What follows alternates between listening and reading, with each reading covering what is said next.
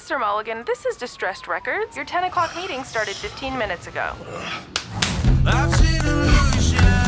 So what are we doing here? It's not working. You gotta go. I'm taking my client list. It's not Jerry Maguire. I'm taking my art and. I got get away from me. Get away. I'm coming back for that. Don't tell your mama I lost my job today. You got money to pay for these? I'm a kid. I don't have any money on What me. happened to your pocket money?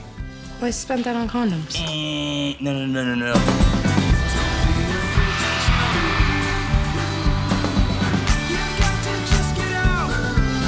Well, you're a total rock star. Unbelievable. We don't want anything to stand in his way. Capiche? I'm just tagging along. Babe, we need to talk. So, this is a new song for anyone who's ever been alone in the city.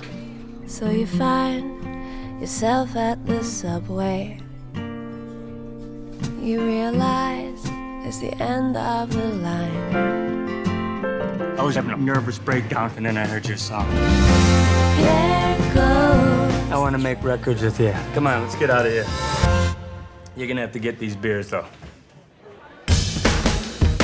Let's record an album. You don't even need to rent a studio. We can record outside, Every song we do in a different location. under the bridge, Chinatown. rowing boats in Central Park. Whatever happens, we record it. If we get arrested, Keep rolling.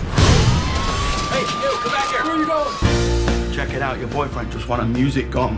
If I could somehow do anything that would undo what I did to us, just tell me what it is. I think everything's changed. Nice beard, you loser. Just not sure how to get back there.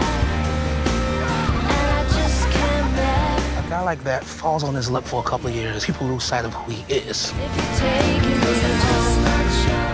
Really is a bit of a long shot, isn't it? Absolutely. That's when the magic happens. Taking me home.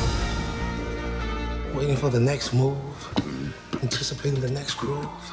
And the road is long, and you're only as strong as your next move. Yo, Fat Jimmy, did you get that down? I got it. All right, because that was exceptionally good.